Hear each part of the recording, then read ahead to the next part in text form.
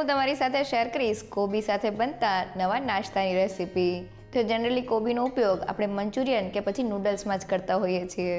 પણ આજે આપણે આ નાસ્તો ખૂબ જ ઓછી મહેનતમાં મિનિટોમાં તૈયાર કરશું. જે હેલ્ધી હોવાની સાથે સ્વાદમાં એટલો ટેસ્ટી છે કે મંચુરિયનને પણ ભૂલાવી દેશે. તો ચાલો રેસીપી શરૂ કરીએ. લખેલી રેસીપી વીડિયો સાથે જોવા માટે ગૂગલ પ્લે સ્ટોરમાંથી ડાઉનલોડ કરો નેહાસ કુકબુક એપ. સાથે મારી ચેનલને સબસ્ક્રાઇબ કરી બેલ આઇકોનને જરૂરથી દબાવો નવા રેસીપી વીડિયો સૌથી પહેલાં જોવા માટે. ક્રિસ્પી અને ખાવામાં એકદમ ટેસ્ટી નાસ્તો બનાવવા મેં અહીંયા વજનમાં ત્રણસો પચાસ ગ્રામ અને એક નાની સાઇઝનું કોબીજ લીધેલું છે. તો મેં કોબીજની ઉપર રહેલા મોટા પાનને કાઢી લીધેલા છે, કારણ કે તેનો ઉપયોગ આપણે નથી કરવાનો. તો હવે છરીની મદદથી તેના પાછળના ભાગને કટ કરી લઈએ. અને હવે તેને બે ભાગમાં ડિવાઈડ કરી લઈએ. અને હવે છરીની મદદથી નીચે સેન્ટરમાં રહેલા કઠણ ભાગને કાઢી લઈએ. અને હવે કોબીજના રફલી પીસ કરી લઈએ. તો મેં કોબીજના રફલી પીસ કરી લીધેલા છે. નાસ્તા માટે આપણે કોબીજને એકદમ ઝીણું જોઈએ છીએ. એટલે કાં તો આપણે તેને ઝીણું સુધારવું પડશે, કાં તો પછી ખમણવું પડશે. પણ તેને ફટાફટ તૈયાર કરવા માટે મેં અહીંયા નાની સાઇઝનું મિક્સર જાર લીધેલું છે. તેમાં રફલી પીસ કરેલા કોબીજને એડ કરી દઈએ. અને હવે ઢાંકણ બંધ કરીને તેને રિવર્સ સાઈડ એટલે કે આ રીતના પલ્સ ઉપર ફેરવતા જઈને ગ્રાઇન્ડ કરી લઈએ. અને હવે ઢાંકણ ખોલીને જોઈએ તો મિનિટોમાં આપણું કોબીજ આ રીતનું ઝીણું ચોપ થઈ ગયું છે. તો હવે આ રીતના કોબીજની બીજી બેચને પણ કરી લઈએ. તો મિક્સર જારમાં મિનિટોમાં આ રીતના કોબીજને ચોપ કરવા માટે નાના મિક્સર જારનો ઉપયોગ કરવો. સાથે એકવાર તમે કોબીજ તેમાં એડ કર્યા પછી મિક્સરનું ઢાંકણ બંધ કરીને તેને રિવર્સ સાઈડ એટલે કે પલ્સ ઉપર ચાલુ બંધ કરતા જઈને તમે આ રીતના તેને ફટાફટ ચોપ કરી શકો છો.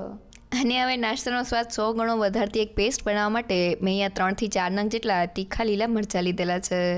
તો નાસ્તો થોડો સ્પાઇસી હોય તો ખાવાની ખૂબ જ મજા આવે છે. સાથે એક ઇંચ જેટલા આદુના ટુકડા, ચારથી પાંચ લસણની કળી. જો તમે લસણ ના ખાતા હોય તો તેને સ્કીપ પણ કરી શકો છો. સાથે એક ચમચ જેટલું જીરું અને એક પિંચ જેટલું મીઠું એડ કરી દઈએ. અને હવે કોઈ પણ જાતના પાણીને એડ કર્યા વગર બધી જ વસ્તુને અધકચરી ક્રશ કરી લઈએ. તો બધી વસ્તુ ક્રશ થઈને આપણી આ રીતની અધકચરી પેસ્ટ તૈયાર થઈ ગઈ છે.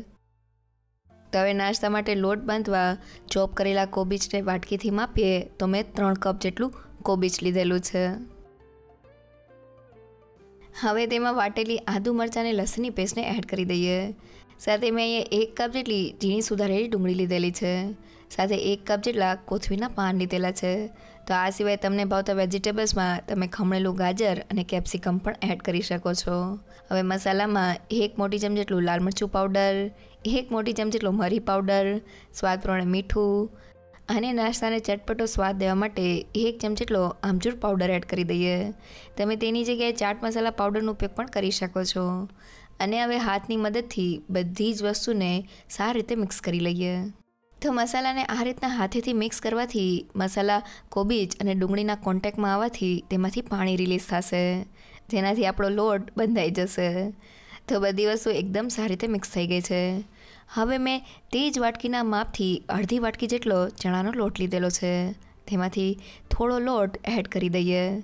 સાથે મેં તેટલા જ પ્રમાણમાં એટલે કે અડધી વાટકી જેટલો તપખીનો લોટ એટલે કે આરા રોટ પાવડર લીધેલો છે. તેને પણ થોડો એડ કરી દઈએ.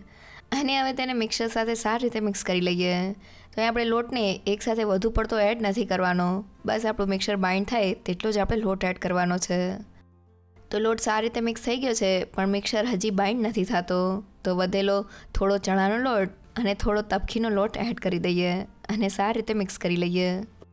તો લોટ સારી રીતે મિક્સ થઈને તમે જોઈ શકો છો કે નાસ્તાનું મિક્સર હાથમાં આ રીતનું બાઇન્ડ થાય છે. તો આ રીતનું મિક્સર તૈયાર કરવામાં મારે અડધા કપ જેટલો ચણાનો લોટ અને તેટલા જ પ્રમાણમાં એટલે કે અડધા કપ જેટલા તપખીનો લોટ એટલે કે આરારોટ પાવડરની જરૂર પડેલી છે.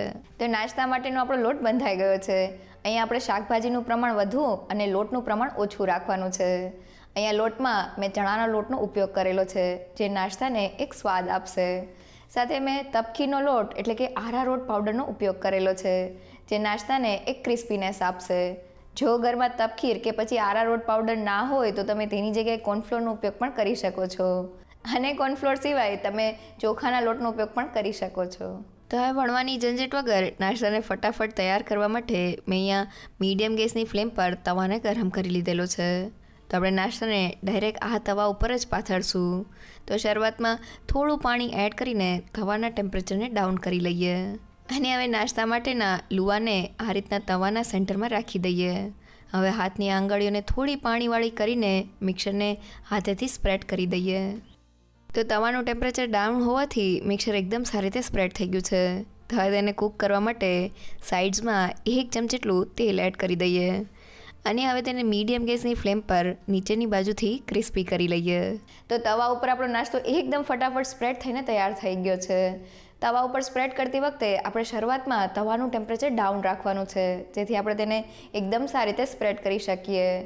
સાથે આપણે નાસ્તાને મીડિયમ ફ્લેમ પર કૂક કરવાનો છે. જેથી તે અંદર સુધી એકદમ સારી રીતે કૂક થાય અને જરા પણ કાચો ન રહે. તો લગભગ ત્રણથી ચાર મિનિટ જેવું થઈ ગયું છે. હવે મિક્સરને બીજી બાજુથી કૂક કરવા માટે ઉપર થોડું તેલ લગાવી દઈએ. અને હવે તવીથાની મદદથી તેને પલટાવી દઈએ. તો તમે જોઈ શકો છો કે ઉપરથી એકદમ ક્રિસ્પી લેયર સાથે આપણો નાસ્તો તૈયાર થયો છે. તો તેને નીચેની બાજુથી પણ ક્રિસ્પી કરી લઈએ. તો અહીં આપણે નાસ્તાને ક્યારેય હાઈ ગેસની ફ્લેમ પર કૂક નથી કરવાનો, નહીં તો તે અંદરથી કાચો રહેશે. તો લગભગ બેથી ત્રણ મિનિટ જેવું થઈ ગયું છે અને નાસ્તાને પલટાવીને જોઈએ તો તે બંને બાજુથી એકદમ સારી રીતે કૂક થઈને ક્રિસ્પી થઈ ગયો છે. તો હવે તેને પ્લેટમાં લઈ લઈએ. તો જોતાં જ ખાવાનું મન થઈ જાય એવો આપણો નાસ્તો તૈયાર થઈ ગયો છે. તો હવે તવા સિવાય નાસ્તાને બનાવવાની બીજી રીતમાં પાટલા ઉપર આ રીતનું કોઈ પણ ભીનું કોટનનું કપડું રાખી દઈએ. તો હવે નાસ્તાના લોટના લુવાને કપડા ઉપર રાખી દઈએ અને હાથની આંગળીઓને પાણીવાળી કરીને તેને સારી રીતે સ્પ્રેડ કરી દઈએ. તો અહીંયા કપડું ભીનું હોવાથી નાસ્તો તેનાથી એકદમ સારી રીતે ડિમોલ્ડ થઈ જશે. તો તમે જોઈ શકો છો કે મેં નાસ્તાને એકદમ સારી રીતે સ્પ્રેડ કરી દીધેલો છે. તો હવે તેને ફટાફટ કૂક કરવા માટે મેં અહીંયા તવાને ગરમ કરી લીધેલો છે. તેની ઉપર થોડું તેલ એડ કરીને તેને સારી રીતે સ્પ્રેડ કરી દઈએ. અને હવે કપડાને હળવે હાથે આ રીતના તવા ઉપર રાખીને નાસ્તાને તેનાથી ડીમોલ્ડ કરી લઈએ. અને હવે મીડિયમ ગેસની ફ્લેમ પર નાસ્તાને બંને બાજુથી શેકી લઈએ. તો તવા સિવાય તમે આ રીતના કપડાં કે પછી બટર પેપરની મદદથી નાસ્તાને એકદમ ફટાફટ તૈયાર કરી શકો છો. તો લગભગ ત્રણ મિનિટ જેવું થઈ ગયું છે. હવે નાસ્તાની ઉપરની બાજુએ થોડું તેલ લગાવી દઈએ અને તેને બીજી બાજુએ પલટાવી દઈએ. તો નાસ્તાને નીચેની બાજુથી શેકાતા લગભગ ત્રણ મિનિટ જેવું થઈ ગયું છે અને તેને પલટાવીને જોઈએ તો તે બંને બાજુથી એકદમ સારી રીતે શેકાઈને ક્રિસ્પી થઈ ગયો છે. તો હવે તેને પ્લેટમાં લઈ લઈએ. તો ઉપરથી એકદમ ક્રિસ્પી અને ખાવામાં સોફ્ટ આપણો કોબીનો નાસ્તો તૈયાર થઈ ગયો છે. તો હવે તેને સર્વ કરી લઈએ.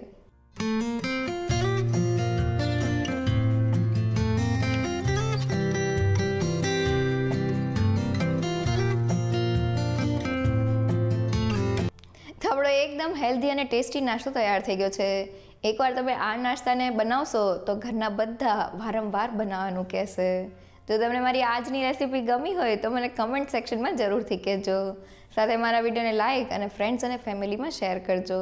તો ફરી મળીએ એક નવી રેસીપી સાથે.